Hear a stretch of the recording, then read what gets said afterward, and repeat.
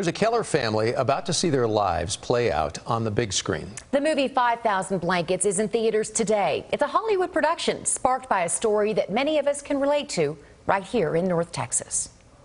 Come on, get to work, kids. CBS 11 has told you the story of Cindy Bunch and her son Philip several times over the years. The mother son duo lead a charity called Philip's Wish.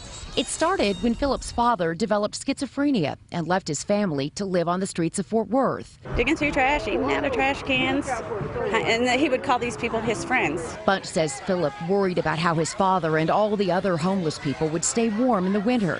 There's 110 here. That's when they started collecting blankets with a mission to help the men and women Philip called unseen. They've taught me to be more of a generous person, not just keep everything for yourself. Bunch says a screenwriter contacted her after seeing her on CBS 11. And he says, okay, um, how much do you want for your story? this is really funny. I said, oh, if you could just buy me a $100 worth of blankets, that would be cool.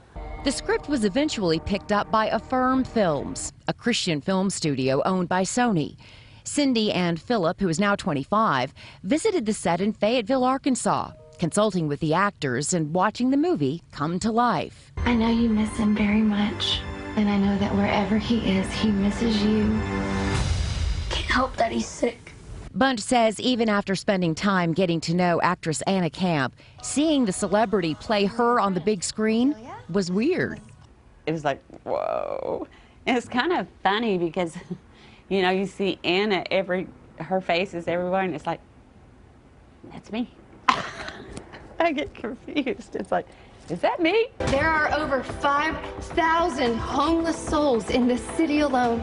So it is Philip's wish to reach each and every one of them with a comforting gesture, a blanket.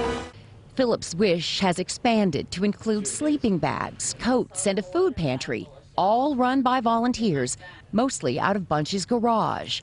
They hand out supplies weekly because while the movie will end and the credits will roll, her mission to serve others continues. It is my passion.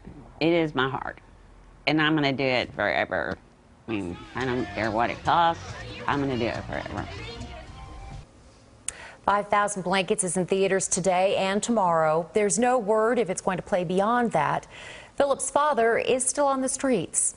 We have linked the Philip's Wish website to ours, cbsdfw.com. You know, Philip and his mom almost, I, I, we were talking, I think maybe a decade ago. I was going to say, you were so surprised when you saw that he was grown up. He's so grown. But here's the thing all of this time has passed, and they're still as passionate today. Yeah. How good it's is wonderful. that? Wonderful. Yeah, it's a great thing they're doing.